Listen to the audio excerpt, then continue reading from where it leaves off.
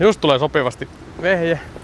Mehän mennään täällä valtiohommissahan, mehän mennään aina julkisilla tietysti.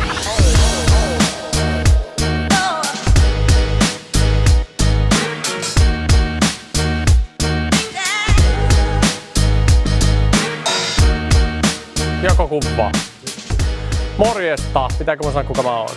Ei ehkä tarvitse. Moi! No niin, ensimmäinen e-oppivan dokumentin ensimmäinen osa on tässä ja tota, tällä kertaa haluan tehdä kaikenlaista, että ensimmäisenä käytiin tuolla Humapin, Humapin toimistolla tapaamassa Mäkitalo Ilkkaa. Juteltiin vähän yleisesti oppimisesta ja meillähän siis totta kai käytössä Realin softa ja juteltiin siitä. Jonka jälkeen käytiin sitten ohjausryhmässä. Tota, kuvaaja Janne vilkuttaa siellä takana. Hei Janne. Niin tota, Janne oli ensimmäisen kerran mukana sillä tavalla niin kuin viisi minuuttia ollut töissä ja sitten kuvattiin vähän mitä siellä tapahtuu. Tosi kiinnostavaa, eli istuttiin kaikki hienosti rivissä ja sitten tota, puhuttiin vuorotelle ihan perusmeininki.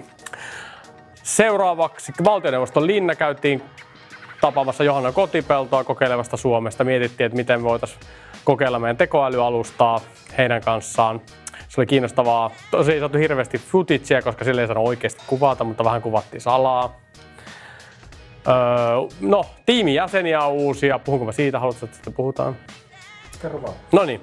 Tiimissä on siis nyt jo useita ihmisiä öö, minun lisäksi. Eli tota, kameran takana Janne ja tuolla on Ilkka, siitä sitten myöhemmin. Ja Susanna on tällä hetkellä varmaan Turussa, mutta Susanna kuuluu myös tiimiin. Meitä on siis tällä hetkellä neljä. Ja tota, toki vanhana, vanhana haussilaisena siis Hanna Siira Oulusta vielä tässä mukana. Olli-Pekka Heinonen kävi vierailulla täällä haussilla aamu 7.40. Juteltiin vähän, vähän tota oppimisesta ja mm, mistä muusta me juteltiin? Mistä me juteltiin?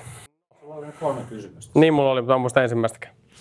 No, juteltiin Olli-Pekka Heinosen kanssa elämästä ja johtamisesta ja projekteista ja mitenkä, mitenkä ihmisten pitäisi päästä siiloista pois ja tota, enemmän tekemään yhdessä. Ja tota, tosiaan aamu, aamu 7.40, toivottavasti se ei näy kuvasta.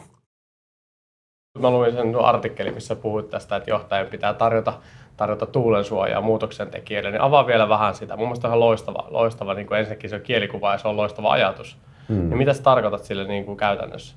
Mä tarkoitan sillä sitä, että, että silloin täytyy nimenomaan niin kuin johtajan ensinnäkin luopua siitä ajatuksessa, että johtajalla on totuus. Että, että niin kuin johtaja tietää kaikki asiat niin kuin parhaiten.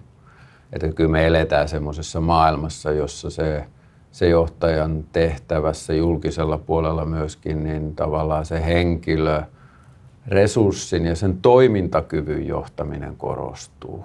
Ei, ei niin kuin suorittaminen itse siinä substanssissa. Joskus suoritus, suorituksen johtaminen se on edelleenkin tärkeä, mutta kyllä sen pääfokuksen pitäisi olla siinä suorituskyvyn johtamisessa.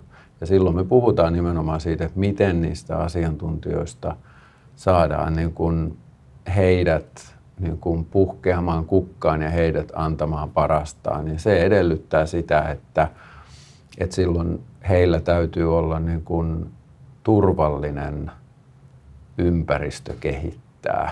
että et se ajatus siitä, että sä joudut niin kuin pelkäämään koko ajan sitä, että astuksen jonkun varpaille, niin se on niin kuin pahin ympäristö niin kuin tappaa se innovatiivisuus. Ja se on se johtajan tehtävä pitää huoli siitä, että on lupa kehittää asioita.